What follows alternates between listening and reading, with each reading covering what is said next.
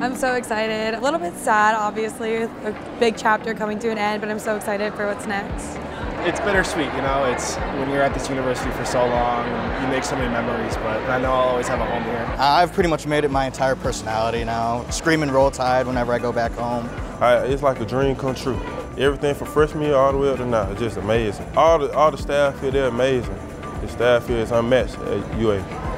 I've always wanted to come to the University of Alabama, so the fact that I got to come here and learn here and grow here as a person, it means the world. It's something to be proud of because I applied to a bunch of other schools and not everybody, like I had to explain where it was, but when I say Alabama, they say, oh, Roll Tide. What UA means to me is just being proud of where I went to school, proud of where I got my degree, proud of the growth that I've made in these past four years. It'll always be like you're home away from home. You're an alumni, you'll always be welcome here and it'll always be like family.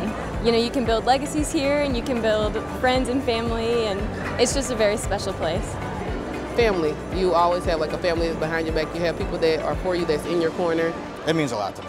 I've been accepted at the school. Everyone's been nothing but nice, Southern hospitality. I'm going to take that with me wherever I go.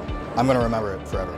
I think the UA slogan, where legends are made, it also just goes for where you are made as a person. It's where legends are made. I mean, it says it itself. Being a legend. The legends are made.